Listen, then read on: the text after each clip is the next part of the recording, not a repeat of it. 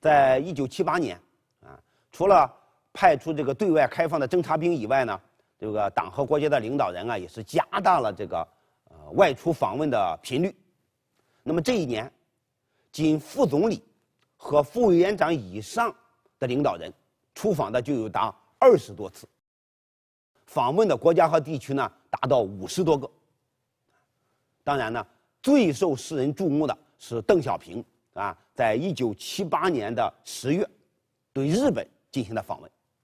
啊，邓小平在日本期间啊，可以说是，呃，兴致勃勃地参观了一些日本的钢铁厂啊、日本的汽车厂啊、电器厂啊等等一些大的企业集团。他还坐了这个气垫船，乘上了日本的这种新干线的列车。啊，在这个新干线列车上啊。呃，随行人员问这邓小平的感受，邓小平说呢，说就是感觉快，